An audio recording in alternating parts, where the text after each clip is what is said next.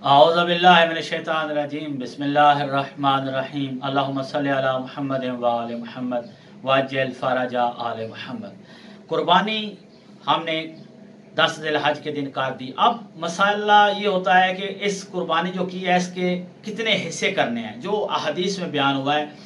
माम सजाद सलाम जो कुर्बानी देते थे, इमाम सलाम से नकल है। कि आप तीन हिस्से फरमाते थे, एक अपने लिए, एक रिश्तेदारों के लिए और एक फुकरा के लिए। ये तीन हिस्से आप करते थे। और आप, अब सवाल ये होता है कि अगर हम करते तीन हिस्से हैं, लेकिन उसमें से एक हिस्सा जो अपने लिए रखना है, वो ज़्यादा रख लेते हैं।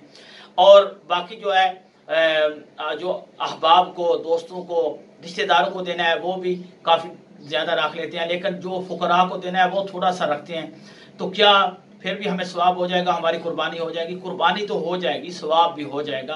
कोई हरज नहीं है, आपने अपने लिए ज़्यादा रख लिया, अपने अहबाब के लिए ज़्यादा रख लिया, और फकरा और मसाकिन के लिए आपने थोड़ा रखा।